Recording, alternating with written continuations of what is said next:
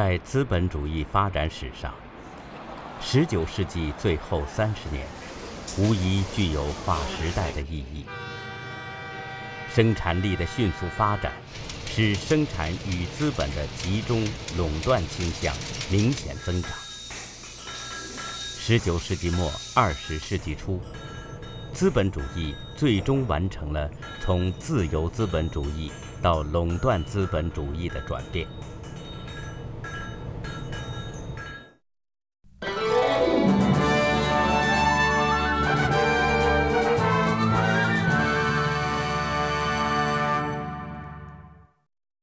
殖民地在资本原始积累阶段就显示了他们的价值。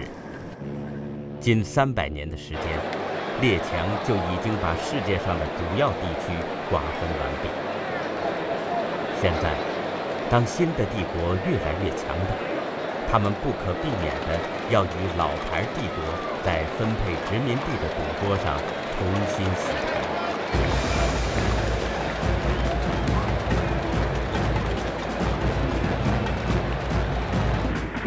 一八九八年的美西战争，一九零零年的英布战争和一九零四至一九零五年的日俄战争，就是这种重新洗牌的集中出现。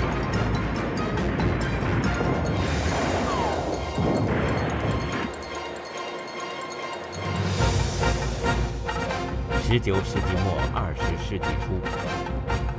争夺殖民地和重新瓜分世界领土的战争，首先在一个新兴的帝国主义国家美国和老牌殖民国家西班牙之间爆发了。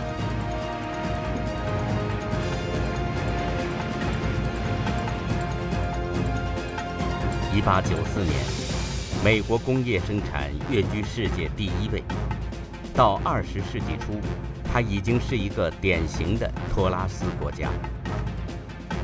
历史学家布鲁克斯·亚当斯曾经断言：19世纪90年代，世界帝国的中心已经移到美国，因此美国必须加强对西半球的控制，并在亚洲拥有相当的经济势力。作为后起的帝国主义国家。美国是列强瓜分世界宴席上的一个晚到者，令人垂涎的美食都已被别人抢到了自己的盘子里，要满足自己的胃口，只有从别人那里争夺。与迈阿密隔海相望的古巴，素有“世界糖罐”之称。古巴的主人是殖民宴席上最老迈的食客之一。西班牙在早期殖民时期曾经叱咤风云的西班牙已经风光不再，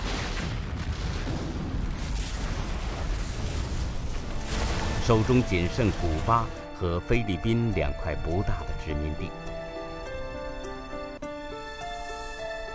One. Which has a curious origin, is the war which led to the United States fighting against Spain. Spain that had backed uh, the revolutionary cause in the end of the 18th century. But by the end of the 19th century, America was feeling strong enough, it had a navy, and it saw the weakness of Spain. Particularly, it felt that the Spanish Empire wasn't governing um, places like Cuba and the Philippines well enough, and on what essentially was a pretext declared war uh, following the, the mining or the explosion on board the Maine. Um, and then, of course, the implication for that for modern America is the ethnic diversity of American society.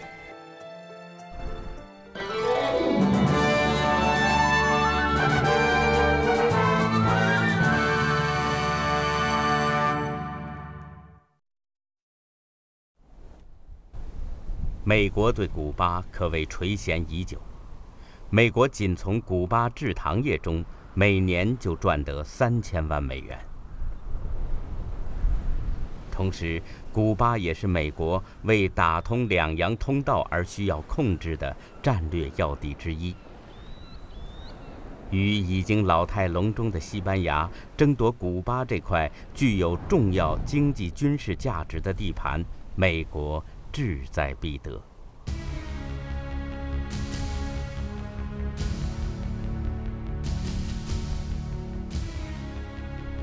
十九世纪九十年代中后期，美国和西班牙关系日益紧张，而西班牙驻美大使迪皮耶·德洛梅的一封私人信件，为这种紧张关系火上浇油。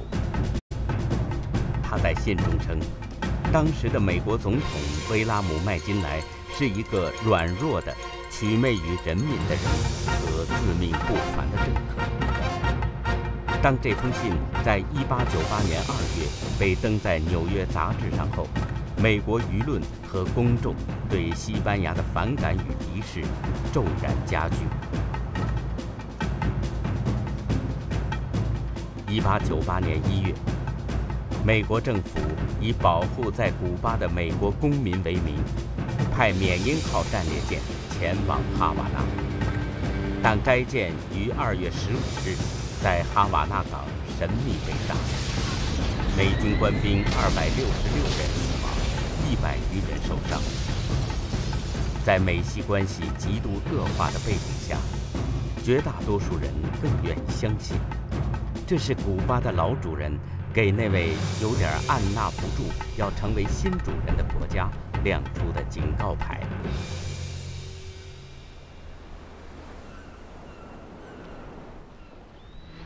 缅因号事件成了美西战争的直接导火索。同年四月二十五日，美国向西班牙宣战。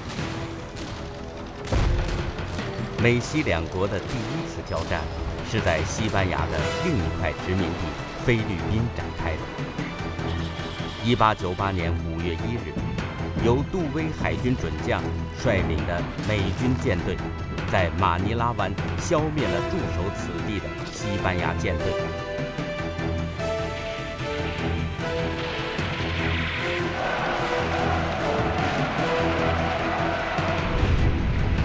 八月中旬，美军占领了马尼拉。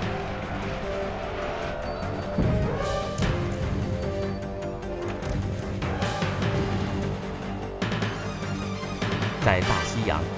桑普森海军少将指挥的美军舰队，把代表西班牙舰队精华的四艘巡洋舰、三艘驱逐舰封锁在古巴的圣地亚哥港。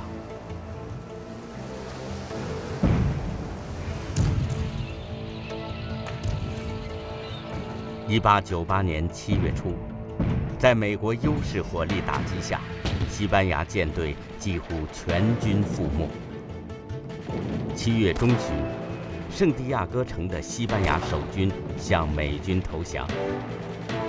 不久，美军又占领了波多黎各。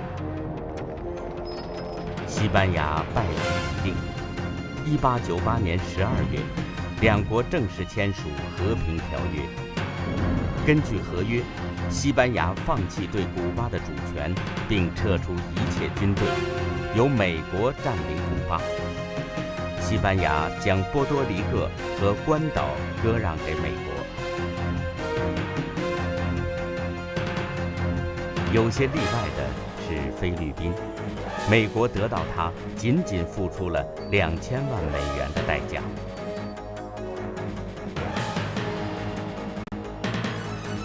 美西战争使西班牙遭到致命打击，丧失了最后的殖民地。相反。美国尝到了实力与争夺的甜头。美国随后吞并了夏威夷，占领了太平洋上的威克岛、东萨摩亚、图图伊拉岛，并通过法案把古巴彻底置于美国的保护国地位。一九零三年，美国与古巴签订条约，在古巴占据了两处海军基地，其中的。关塔那摩成为美国的永久性基地。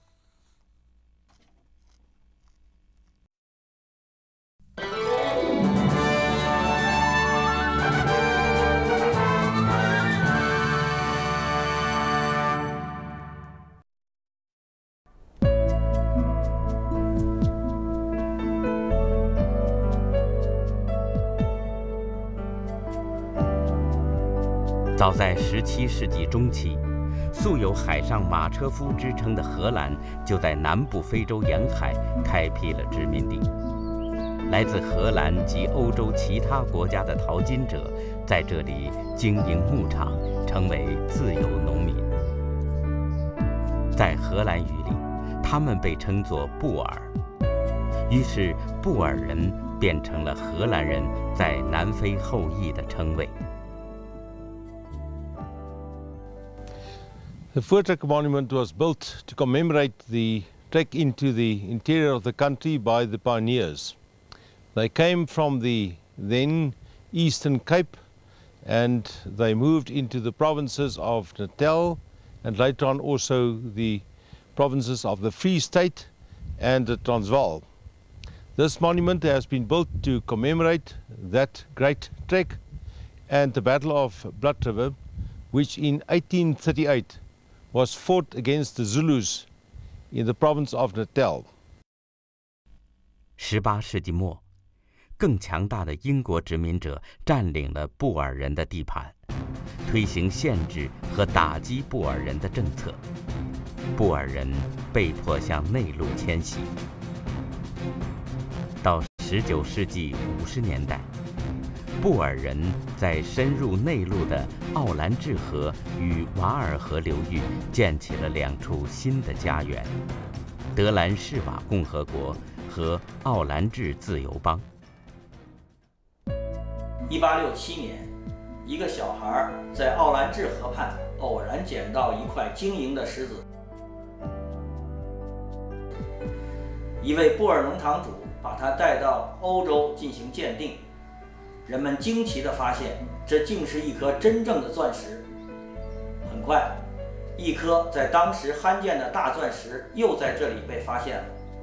按当时的估价，它值六十二点五万法郎。欧洲几乎没人怀疑，在遥远神秘的南部非洲蕴藏着丰富的宝藏。正当人们的眼睛盯在钻石上的时候，南部非洲又给了世界一个更大的惊喜。1884年和1886年，在德兰士瓦境内发现了世界上蕴藏量最丰富的金矿，欧洲再次沸腾。一位记者这样记述了当时的场面：水手们离开了军队，商人们关上了店铺，职员们走出了办公室，农场主抛弃了土地和牲口。他们全都如饥似渴地奔向奥兰治河和瓦尔河两岸。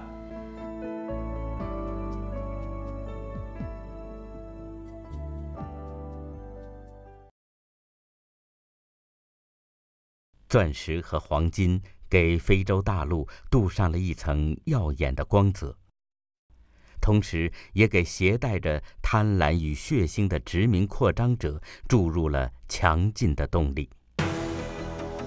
列强把占领成片的非洲领土作为首要目标，其中英国制定了所谓的二 C 计划，要建立从开罗到开普敦纵贯非洲南北的殖民地。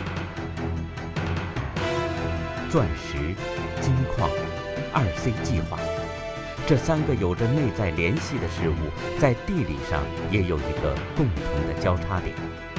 这就是布尔人的两个家园：德兰士瓦和奥兰治。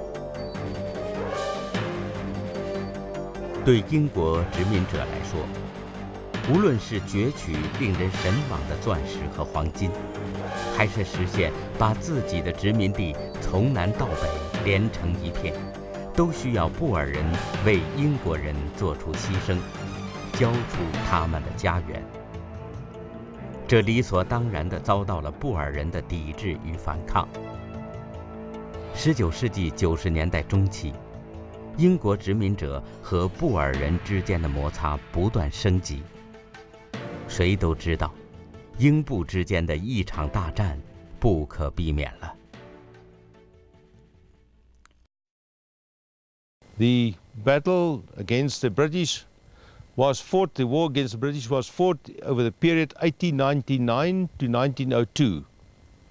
And it was specifically to once again regain independence. Now, the pioneers left the Cape because they wanted to have freedom from the British colonial powers. But the British colonial powers pursued them into the interior of the country. The South African Anglo-Boer War was fought against the British for the independence of the two republics in the interior of the country, the Free State and the Transvaal.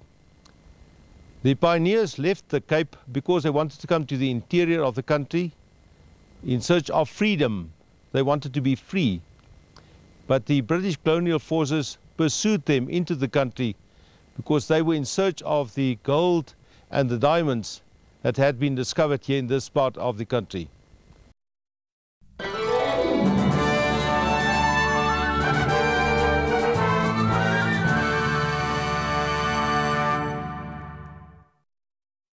一八九九年十月，发现英国开始集结军队，布尔人先发制人，对英宣战。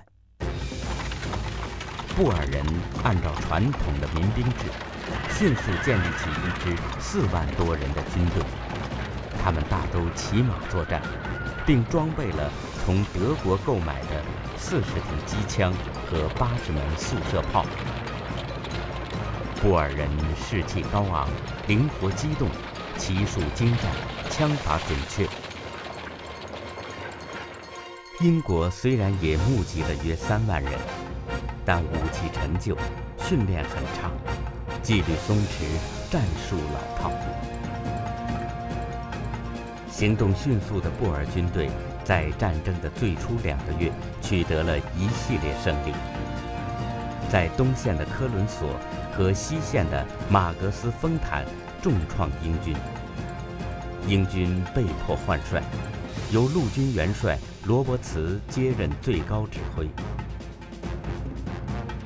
罗伯茨对英军进行改编，组建起骑兵部队，提高部队的机动性。从1900年初开始，英国从世界各地。抽调兵力投入南非战场。到战争结束时，英军已达五十万人。英军逐渐形成兵力上的优势，加之适应了布尔军队的战术，逐渐掌握了战场的主动权。一九零零年三月和六月。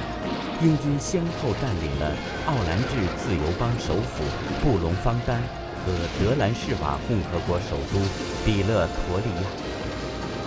布尔人的两块领土相继被英国吞并，但是布尔人的游击战争又持续了两年。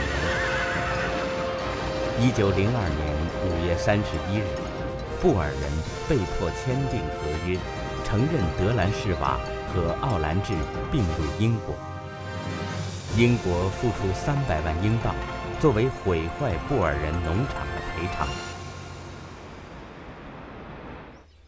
一九一零年，为了进一步缓和与当地布尔人的矛盾，英国政府把德兰士瓦、奥兰治等地合并为南非联邦，让布尔人自治。This war was to be the last one in which the numbers of men dying of disease would exceed those dying from enemy action, but it also revolutionised British attitudes.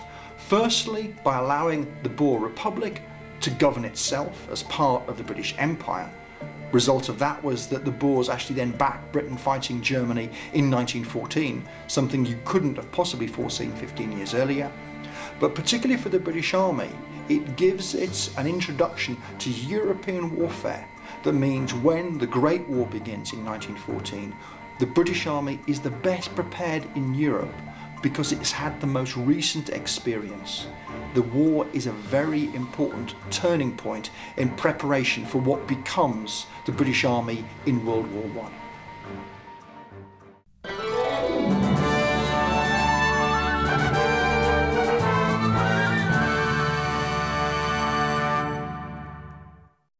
third war is the war between Russia and Japan. By 1904, Russian uh, expansion had brought it right to the Pacific, into Manchuria, into modern Korea. And at that point, the Japanese army, the Japanese navy, felt strong enough to deal with this new power in the east, and the war was almost inevitable. As usual with Japanese military force, it began with a surprise attack on Port Arthur and then led to a siege in which, to their amazement, the Russians were defeated.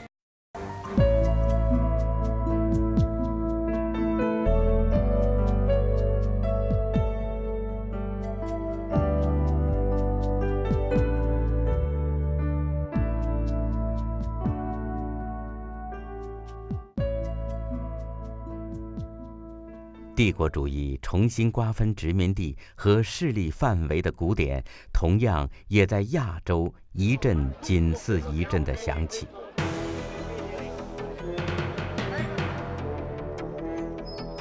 一八九六年，俄国右使腐朽的清政府签订了中俄密约，获得了修筑从满洲里至海参崴的中东铁路的租让权。两年后。俄国又强行租借了他心仪已久的远东不动港、旅顺和大理。旅顺口成了俄国太平洋舰队的基地。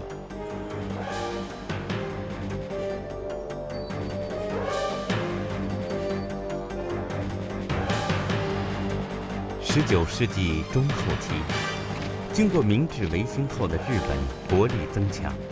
开始积极推行大陆政策，梦想成为东亚的霸主。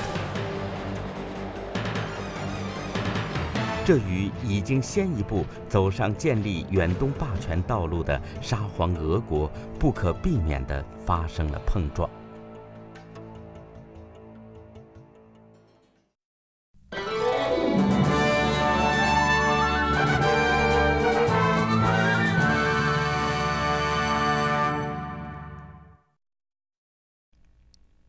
一九零二年，日本同英国缔结了同盟，并赢得美国的支持，开始准备争夺辽东半岛的对俄战争。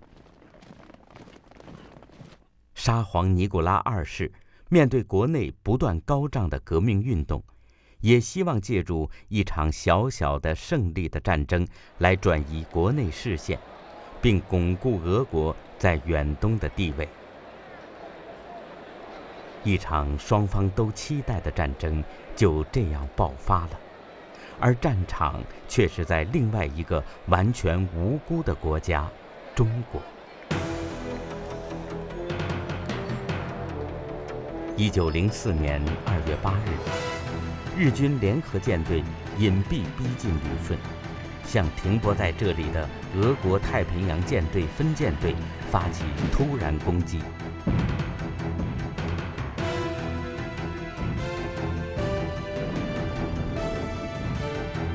这时，俄军几乎所有军官正在城里参加舰队司令夫人的命名日舞会。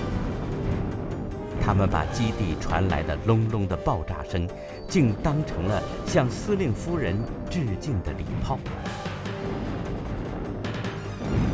战争开始后，日军利用沉船和水雷封锁了港口，使俄舰队大型舰只行动受阻。掌握了制海权的日军展开了大规模登陆作战。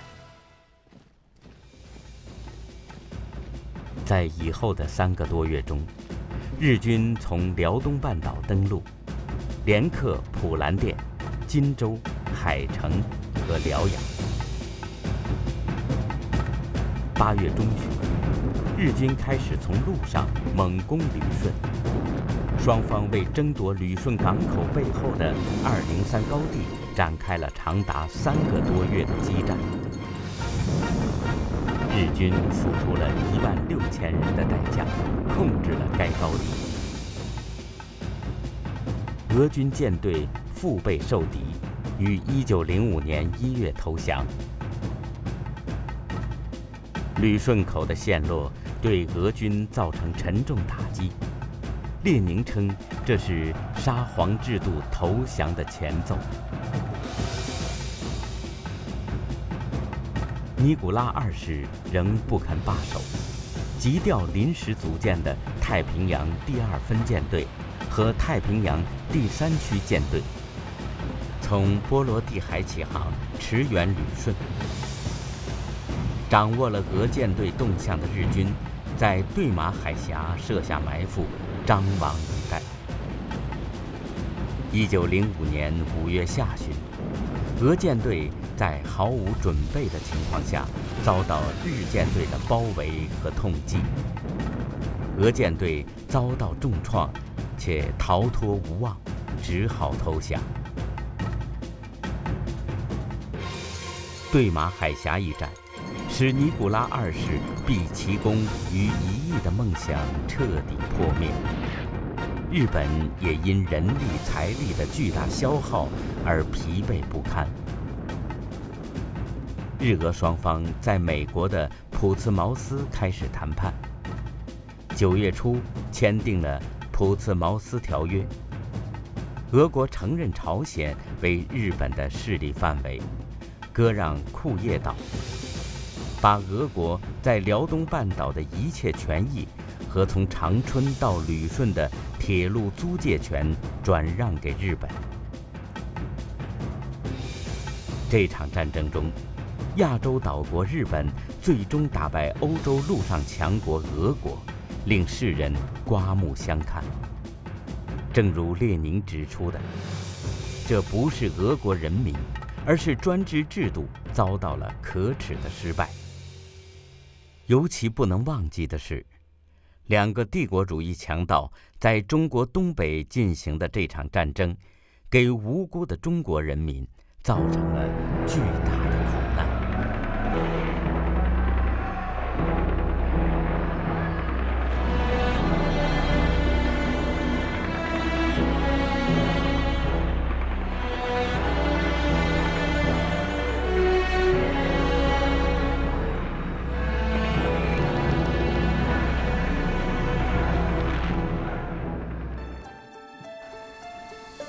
西战争、英布战争和日俄战争，都是由帝国主义扩张引发的。三场战争导致了不同地区殖民利益的重新分配，也标志着美日两个帝国主义国家的崛起。这将对国际格局的变化产生重要影响。对于殖民地和附属国的人们而言，战争没有改变他们的地位和处境。